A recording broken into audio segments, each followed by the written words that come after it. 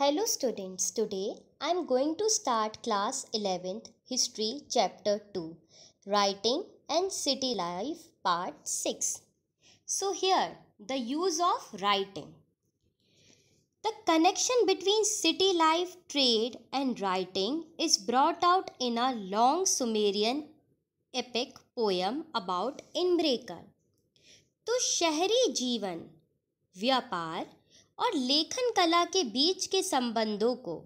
Uruk के एक प्राचीन शासक एनमृकर के बारे में लिखे गए एक सुमेरन महाकाव्य से स्पष्ट किया जा गया है कि one of the earliest ruler of Uruk in Mesopotamian tradition. Uruk was a city of par excellence, often known simply as the city. तो मिसोपोटेनियम की परंपरागत कथाओं के अनुसार, उरुक एक अत्यंत सुंदर शहर था, जिसे अक्सर केवल शहर कहकर ही पुकारा जाता था Enmerkar is associated with the organisation of first trade of Sumer in the early days The epic says trade was not known. Inbreaker wanted lapis lazuli and precious metals for the beautification of a city sample and sent his messenger out of get them from the chief of a very distant land called Arata. तो कहा गया है कि सुमेर के व्यापार की पहली घटना में इन मेकर के साथ जोड़ा जाता है यह महाकाव्य में कहा गया है कि उन दिनों व्यापार क्या होता था, यह कोई नहीं जानता था।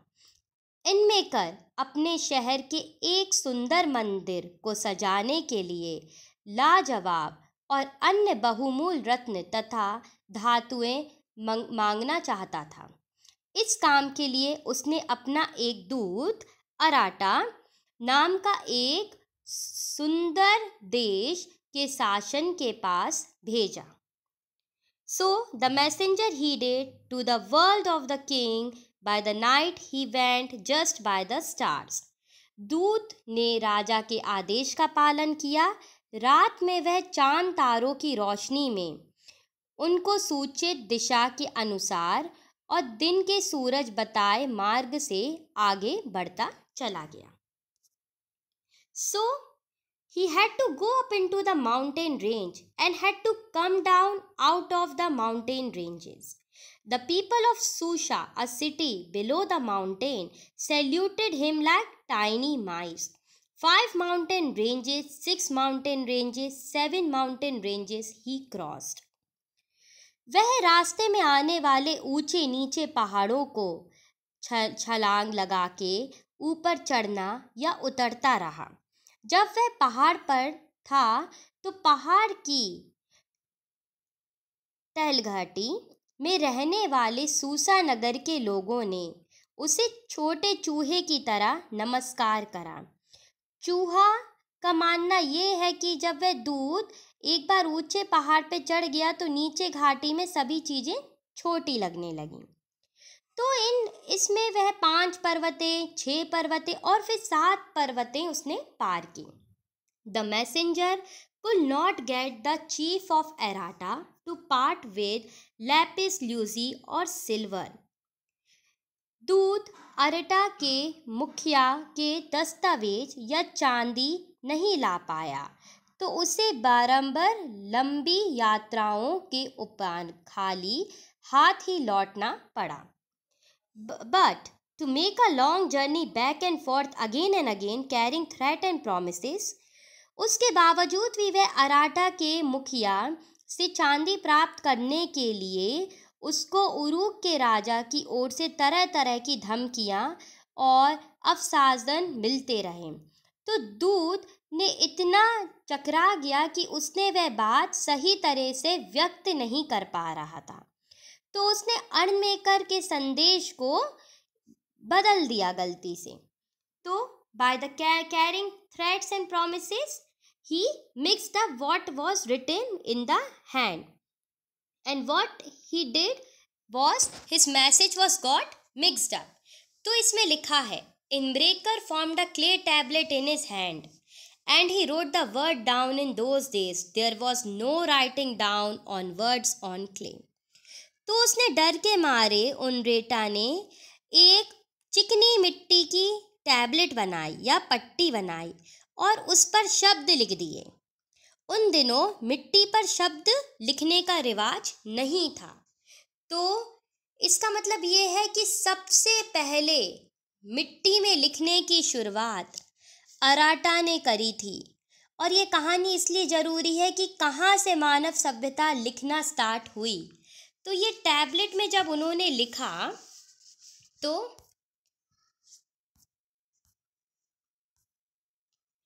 the ruler of Aratta explain the clay the spoken words were nail his face was frowning he kept looking at the tablet जब उसने, दूत ने एराटा ने ये टैबलेट में लिखा तो उसमें उसकी जाँच की। और इसमें यह लिखा था कि पट्टी की नज़र में नज़र आ रहा था कि उसने अपने नेल्स से क्या लिखा है। This should not be taken as a literal truth but it can be inferred as a Mesopotamian understanding इस घटना को शाब्दिक रूप से सत्य नहीं माना जाना चाहिए, लेकिन इसके निष्कर्ष निकाला जा सकता है कि मेसोपोटेमिया की विचारधारा के अनुसार सर्वप्रथम राजा ने ही व्यापार और लेखन की व्यवस्था की थी, जो कि यूमरेटर थे। And this poem also tells that besides being the means of storing information and sending message afar writing was seen as a sign of superiority of Mesopotamian urban culture इस काव्य से हम यह भी बता सकते हैं कि लेखन कार्य सूचना, इकट्ठी करने और दूर दूर भेजने के साधन का भी स्थान था। साथ ही इससे मेसोपोटेमिया की शहरी संस्कृति की उत्कृष्टता भी झलकती है। Now part of this page thirty six is urbanization in southern Mesopotamia temple king तो यहाँ लिखा है from five thousand B C E settlement had begun to develop in southern Mesopotamia दक्षिणी मेसोपोटेनिया में बस्तियों का विकास 5000 हज़ार ईसा ईसापूर्ण में होने लगा। The earliest city emerge from some of these settlements these various time those that gradually developed around temples those that developed as a centre of trade and imperial city it is the city of the first two kind that can be discussed here. ये कई तरीके के शहर थे। पहले वो जो मंदिरों के चारों ओर विकसित हुए, दूसरे जो व्यापार के केंद्रों में रूप से विकसित हुए। और शेष शाही शहर थे। इसमें से पहले दो श्रेणियों में शहर पर चर्चा की जाएगी। तो सबसे पहले हम देखते हैं कि पहले कौन से यहाँ पर शहर विकसित हुए। एक था early settler, origin are unknown. ये थे बाहर से आके बसने वाले लोगों को सेटलर बोलते थे और इनका ओरिजन कहाँ से आए थे ये पता नहीं है। They began to build and rebuild temples at selected spot in their villages the earliest known temple was a small shrine made of unbaked bricks temple were the residence of various god of the moon god of or Inama, the goddess of love and war, constructed in bricks temple, became larger over time. तो बाहर से आके जब ये लोग बसने लगे अपने गाँवों में कुछ चुने हुए स्थानों या मंदिर को बनवाने लगे या बने हुए मंदिर को पूर्ण निर्माणित करने लगे सबसे पहले ज्ञात होता है कि मंदिर एक छोटा सा देवालय था जो कच्ची ईटियों ईटों से बनाया जाता था मंदिर विभिन्न प्रकार के देवी देवताओं के निवास स्थान थे। जैसे चंद्र देवता थे और इनाना, जो प्रेम व युद्ध की देवी थी, ये मंदिर ईंटों से बनाए जाते थे और समय समय के साथ बड़े होते गए, क्योंकि इनके खुले आंगनों के चारों ओर कोई कमरे बने होते थे। So we can see that कुछ प्रारंभ मंदिर में साधारण घरों से अलग किस्म के होते थे, क्योंकि मंदिर भी किसी देवता का घर भी हुआ करता था। लेकिन मंदिरों की बाहरी दीवारें कुछ खास अंतरकालों के बाद भीतर को बाहर की ओर मुड़े जाने वाली होती थी। यही मंदिरों की विशेषता थी। साधारण घरों से दीवारें अलग होती थी, जिससे ये प्रमाण मिलता है कि ये मंदिर है। So here also we can see the temples were the house of God. But temples always had their outer wall going in a regular interval. So the God was focus of worship to him or her people, brought grain, curd, fish. The God also has a theoretical owner of the agriculture field, fishery, herds of local community in time, processing of produce also done in the temple. तो we can see कि देवता पूजने का केंद्र बिंदु तो होता था। लोग देवी देवता के लिए अन्न दही, मछलियाँ लाते थे। और इसके प्रमाण हमें पुराने मंदिरों में मिलते हैं कि फर्श पर मछलियों की हड्डियाँ के प्रमाण प्राप्त हुए हैं। और खेतों में, खेतों के अनाज को मंदिरों में चढ़ाया जाता था, मछलियों को या कोई भी अपने हाथ से कोई भी जो भी चीज़ उत्पन्न हुई है, वो लाके भगवान को चढ़ा सकता था। तो ये माना जाता है कि व्यक्ति अगर ऑयल प्रेसिंग ऑयल प्रेसिंग का मतलब है तेल निकालना ग्रेन मतलब अनाज ग्रिंडिंग पीसना स्पाइनिंग काटना और वीविंग ऑफ़ वुलन क्लोथ इसका मतलब है कपड़ों को बुनना आदि यहीं की जाती थी टेंपल में। तो organizer of production at a level above the household तो घर परिवार से ऊपर के स्तर पर व्यवस्थापिक या व्यापारियों को यहाँ पर एक लेवल दिया जाता था। मर्चेंट मतलब व्यापारी। और keeper of the written record of distribution allotment of grain plough animal मतलब व्यापारियों को नियुक्त किया जाता था। अन्य हल, जोतने वाले पशु, रोटी, जौ, शराब, मछली आदि, अवतम और वितरण में लिखित अभिलेख को पालन रूप से मंदिर में धीरे धीरे अपने कार्यलाप में बढ़ा लिया गया। तो the temple gradually developed activities and became the main urban institution but there was also another factor on the screen तो मुख्य शहरी संस्था के रूप लिए गए, लेकिन अन्य दूसरे कारक भी व्यवस्था के विद्यमान थे।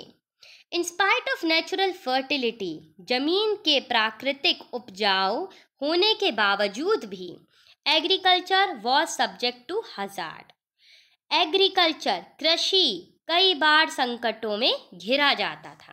The natural outlet channel of the Euphrates could have too much water one year and flood the फरात नदी, जो कि यूपरेटिस नदी थी, प्राकृतिक धाराओं में किसी भी वर्ष बहुत ज़्यादा पानी आ जाता अपना रास्ता बदल लेती थी, जिसके कारण खेत सूख जाते थे। The archaeological record show villages were periodically relocated in Mesopotamian history जैसे कि पुरातत्व अभिलेखकों से पता चलता है कि मेसोपोटेनिया के इतिहास में गाँव समय समय पर पुण्य स्थापित किए जाते थे। इन प्राकृतिक विपदाओं के अलावा कई बार मानव निर्मित समस्याएँ भी आ खड़ी होती थी। जो लोग इन धाराओं के ऊपर इलाकों में रहते थे तो उनके पास भी जलाधर, इतना ज़्यादा पानी और खेतों में भी बहुत ज़्यादा पानी भर जाता था तो जो स्ट्रेच चैनल्स थे, ये डाइवर्ट कर दिए गए थे फील्ड्स में विलेजेस में डाउन स्ट्रोम्स में. And the neglect to clean out the silt from the stretch of the channel blocking the flow of water further down so the early Mesopotamian countryside saw repeated conflict over land again and again तो जो पानी का बहाव जब रुक जाता था तो नीचे वाले पानी नहीं मिलता था। इसलिए मेसोपोटेनिया में एक तत्कालीन देहातों में ज़मीन पानी में बार बार झगड़े हुआ करते थे। क्योंकि जो अपर वाले लोग थे, जो ऊँचे इलाकों में रहते थे तो वहाँ पानी बहुत रहता था और वो पानी का पूरा उपयोग कर लेते थे। और जो नीचे इलाके के लोग रहते थे, वहाँ ये पानी आने ही नहीं देते थे, चैनल ही नहीं खोलते थे तो इस कारण से वहाँ पर सूखा पड़ जाता था। When there was a continuous warfare in a region जब किसी क्षेत्र में लंबे समय तक लड़ाई चलती थी तो मुखिया लड़ाई जीतते थे और वे अपने साथियों एवं अनु साथियों को लूट का माल बांटकर खुश कर देते थे। सतह आ रहे हुए जो भी हारते थे समूह में, इन लोगों को बंदी बनाकर अपने साथ ले जाते थे। तो इस तरीके से ये यहाँ पर काम कर रहे थे। तो ये जो लीडर्स थे will be here today and gone tomorrow until a time come when such leadership came to increase the well-being of a community with the creation of a new institution of practice in time victorious chiefs began to offer precious booties to the god beautify the community temples they will send men out of the fetch fine stone and metal for the benefit of god and community तो इसमें हम ये मान सकते हैं कि जितने भी योद्धा थे जो विजय होते थे या जो मुखिया थे जो मुखिया भी नहीं भी बन पाते थे या हार जाते थे ये सब देवताओं को भेद ज़रूर अर्पित करते थे। जिसके मंदिरों में सुंदरता बढ़ जाती थी पत्थरों धातुएँ अर्पित करते थे और इससे मंदिर और ज़्यादा सुंदर लगने लगते थे। So so, Here we can see that the distribution of temple wealth is an efficient way by counting for things that came in and went out as the poem about Irmerica show. तो एक छोटी सी poem है We can imagine a mutually reinforcing cycle of the development in which leaders encourage the settlement of villages close to themselves to be able to rapidly get an army together beside people will be safe living in close proximity at Urg, one of the earliest temple town we find in the depictions of armed hero and and careful archaeological survey has shown that around 3000 BE when Urk grew to the enormous extent of 250 hectare, twice as large as Mohenjo-daro, will be in later century dozen of small villages were deserted their head like we see in this photograph so पूरा हिंदी में समझा देती हूँ आपको देखो परंपराएँ तो थी और ऊंच नीच भी थी मेसोपोटेमिया में लोग एक दूसरे के आसपास रहने से स्वयं अधिक सुरक्षित महसूस करते थे उरूक में जो उन दिनों सबसे पुराने मंदिर नगरों में थे, वहाँ पर एक, हमें ये भी पता लगता है कि शत्रुओं का चित्र भी मिलता है। इनके भी शत्रु थे। तो थ्री थाउज़ेंड ईसा पूर्ण में या पुराने टाइम पे आसपास में उरुक नगर में टू फिफ्टी हेक्टेयर भूमि का विस्तार हुआ। इसके कारण दर्जनों छोटे छोटे गाँव, उरुक गए और बड़ी संख्या की आबादी यहाँ पर आ गई। तो ये शताब्दियों तक ये मोहन मोहनजोदारो नगर जैसे दो गुना बड़ा था ये उर्ग। और इसका उल्लेखन भी किया जाता है कि कैसे ये उर्ग एक तरीके से रक्षा और इसके लिए सारे तरीके के प्रचार हुए ताकि ये बढ़ सके और एक आगे आइडल लॉजी में वर्क कर सके।